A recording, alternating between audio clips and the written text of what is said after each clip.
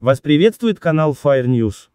Продюсер группы на наборе Алибасов пообщался с Андреем Малаховым, рассказав о своем состоянии после пятидневной комы. Барри Алибасов после отравления химикатами дал свое первое интервью. В сети появился анонс передачи «Прямой эфир», которая выйдет сегодня вечером. В этой коме я и был. Они не давали мне повернуться. Я все время был связан. Связано все, все болит, рассказал Алибасов. По всей видимости шоумен вспоминал то, что чувствовал под действием препаратов. Речь идет о медикаментозном сне, в который Барри Каримовича ввели врачи не из Клифосовского. Подробности интервью можно будет узнать только после выхода в эфир полного выпуска. Будем ждать. Напомним, Барри Алибасов случайно выпил средства для прочистки труп от засоров крот, перепутав химикаты с апельсиновым соком. Спасибо за просмотр.